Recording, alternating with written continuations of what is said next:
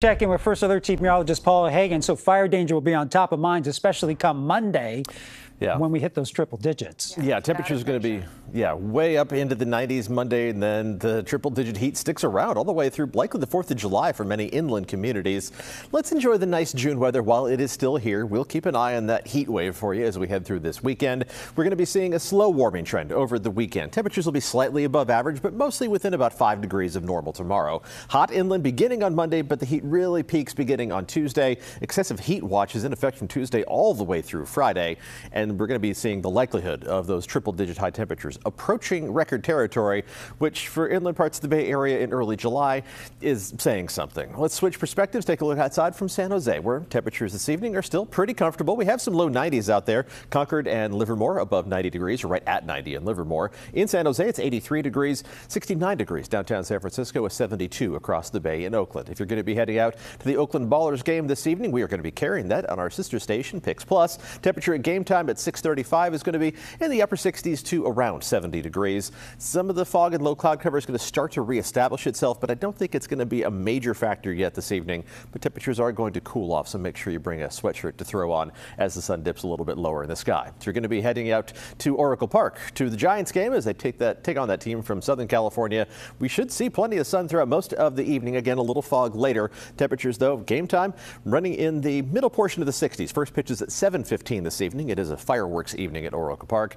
Down to around 60 degrees already by 8 o'clock and then down into the upper 50s by the time those fireworks are taking flight. The fog is going to spread out. reduce visibilities to begin the day if you're up early on Saturday morning, but you have to be up really early inland to see that fog. It's going to dissipate quickly. Backing up to the coast and coastal communities should see plenty of sunshine from late morning through the afternoon with even more of that in store for the second half of the weekend as the weight of the atmosphere on top of us builds and suppresses that marine layer. Temperatures tonight dropping down mostly to the low to mid 50s, some of the warmest spots in the upper 50s to around 60 degrees, but that is not bad at all for late June. And then high temperatures tomorrow, as I showed you a little earlier, everybody within a few degrees of average, maybe about five degrees above normal for San Jose, mostly in the mid to upper 80s in the Santa Clara Valley, low to mid 90s for most inland parts of the East Bay. You'll be some of the hot spots, but that's not that hot for late June. Low 80s for Fremont and Redwood City, low 60s in Half Moon Bay, close to 70 in San Francisco with mid 70s likely for Oakland and the North Bay. A mix of a lot of 80s and some of the warmest spots making your way up into the 90s already by tomorrow afternoon.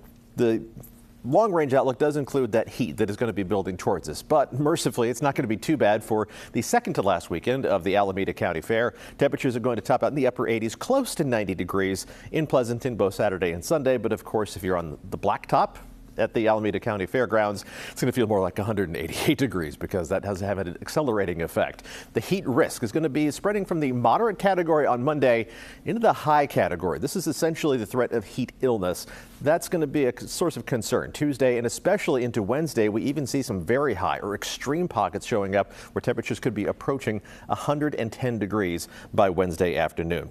Let's take a look at the seven day forecast. And we do have a minor little drop in temperatures inland by the 4th of July on Thursday and then continuing through the rest of the holiday weekend. But that drop in temperatures sends us from around 105 degrees still in the upper 90s, which is plenty hot. It's just not as crazy hot as the conditions we're going to have on Tuesday and Wednesday.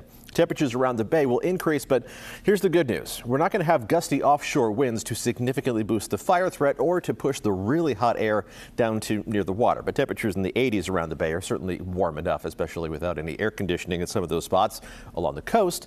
Again, without the gusty offshore winds, temperatures will climb to the mid to upper 60s as we head towards Independence Day on Thursday. But you will see more sunshine. The fog is going to be kind of a minimal factor as we go through the first week of what is usually no sky July along the coast.